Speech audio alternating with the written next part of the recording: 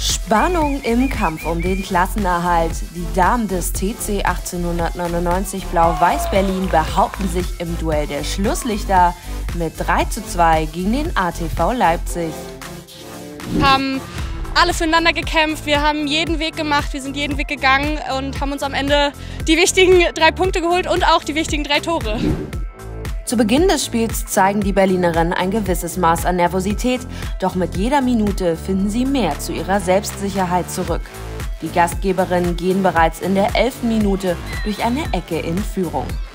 Obwohl Leipzig rasch zu antworten versucht, bleibt die Defensive von Blau-Weiß stabil.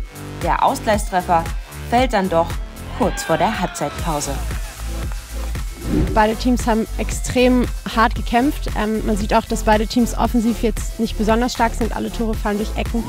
Nach dem Seitenwechsel zeigen die Berlinerinnen eine zunehmende Ruhe, die sich in ihrer wachsenden Präsenz auf dem Feld widerspiegelt. Sie kontrollieren das Spielgeschehen und setzen ihre Gegner unter Druck.